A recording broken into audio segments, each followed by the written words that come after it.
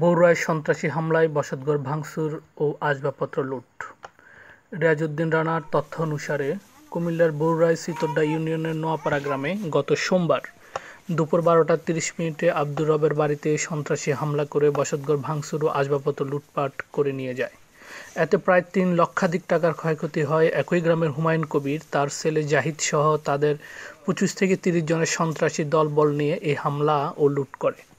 এ সময় হুমায়ুন ও জাহিদের নেতৃত্বে সন্ত্রাসীদের হাতে থাকা দা সেনি রড দিয়ে বাসতঘর কুপিয়ে তছনছ করে দেয়। এ ব্যাপারে আব্দুর রহমান বলেন, দুই হাজার ছয় সালে আমার ঘরের সাথে থাকা মোহাম্মদ ফজলুলের জায়গাটি ক্রয় করি, কিন্তু তার সাথে হুমায়ুনের ঝগড়া থাকায় জায়গা নিয়ে জায়গা নিয়ে আমার উপর সন্ত্রাসী হামলা চালিয়ে ঘরের আসবাবপত্র লুট করে প্রায় তিন লক্ষ টাকার ক্ষতি করে। সরজমিনে গিয়ে দেখা যায় আব্দুর রবের বসতঘর, গোয়ালঘর, টিনের ভেড়া ভাঙচুর রয়েছে।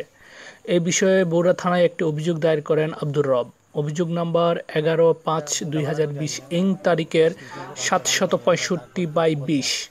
অভিযোগের তদন্ত কর্মকর্তা এএসআই উত্তম কুমার ঘটনাস্থানে গিয়ে সত্যতা পান। আব্দুর রব হুমায়ুন ও জাহিদের নেতৃত্বে এই সন্ত্রাসী হামলার সুষ্ঠু বিচার দাবি জানাচ্ছেন প্রশাসনের কাছে। এরপরে আমি আর দেখি না। দিছি আমরা দৌড়াই না দৌড়াই না লাগে আমি গেছি। গিয়ে পরে পনেরো জন লোক আইয়া এই ঘরটা যাত্রা করে ঘর বান্ধব খুব দিছি।